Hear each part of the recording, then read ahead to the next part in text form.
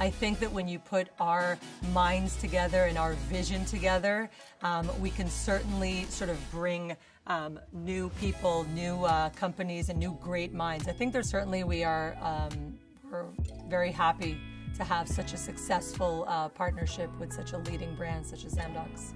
Thinking of how to be better, thinking of what can we do together, our company with Amdocs.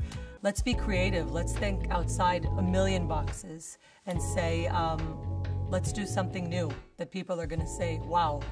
Um, I think that's that's where we definitely want to go and continue.